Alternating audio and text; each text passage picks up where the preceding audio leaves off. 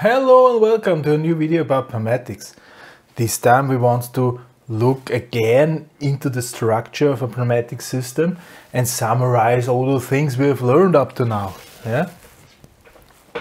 And I will also give an, a first impression. Usually we draw them from bottom to the top. Yeah? So every thing which is on top depends on the things which is on the bottom. Yeah. So the signal signal is from bottom to the top. This is also in the schematics which we are learning in next video. It's also the same. Yeah. So what is the foundation of everything yeah, in a pneumatic system? That's the energy supply. Yeah. So at the bottom we have energy supply.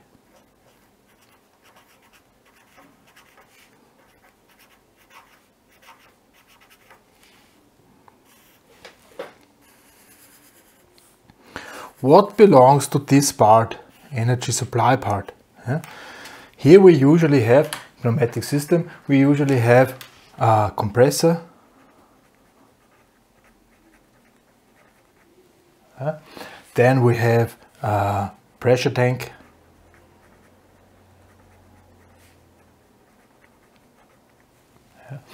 Then we have uh, uh, the, the treatment. Yeah. With oiler. Pressure regulating. And filter. Energy supply. After the energy supply part, we have the electrical energy. And then we said in our uh, structure, in our control structure, we have the signal input.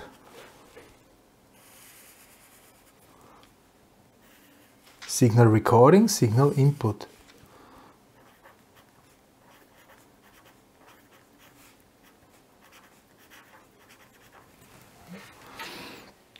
How are those things usually done uh, in, in a pneumatic system? Well, we have their so-called way valves.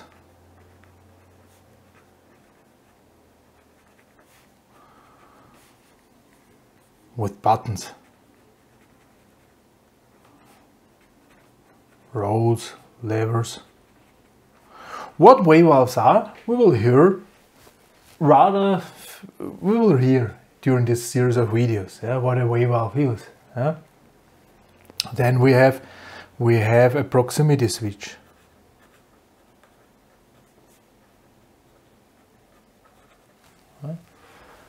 Air barrier.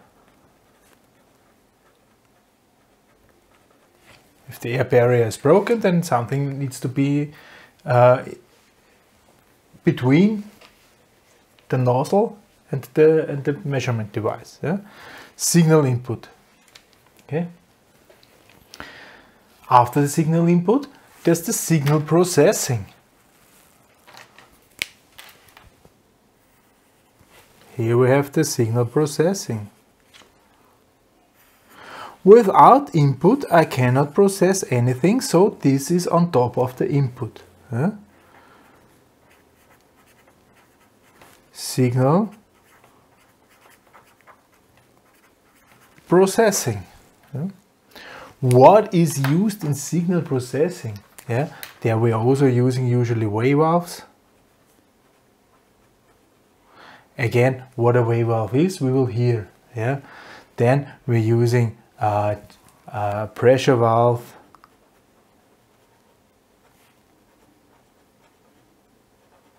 Yeah. We, we are using, uh, you know, and and so-called AND and OR valves, or still we call them AND and OR valves now, yeah, that we can combine two signals if both are there or only one is there. Uh, yeah, something like this. Yeah. These are typical uh, pneumatic processing elements. Okay. Then there's the signal output. Yeah or a switching element, which is switching, yeah,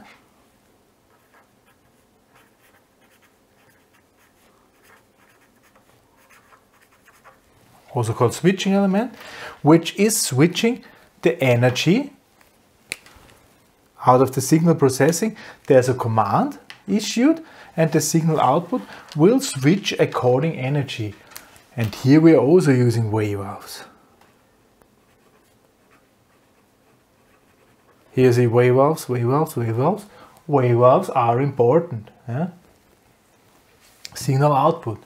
And then we have the execution part.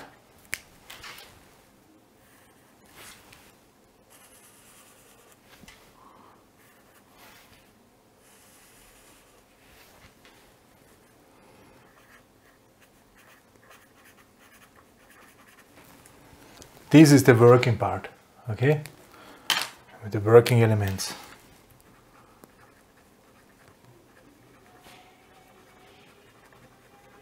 In pneumatics, these are cylinders, these are motors, and these are turbines.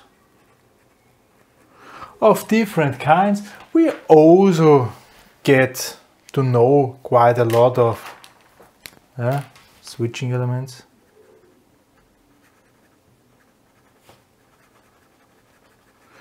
A lot of those variants we will learn how they look like. So this is how we draw or explain a pneumatic system from bottom to the top. Yeah? Supply, input, processing, output, execution. Okay? This is the typical structure. Yeah? Sensor, processing, actuator. Yeah? These things are also called actuators.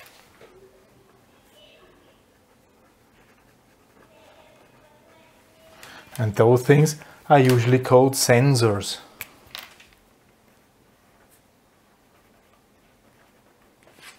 Okay. So this is the signal direction.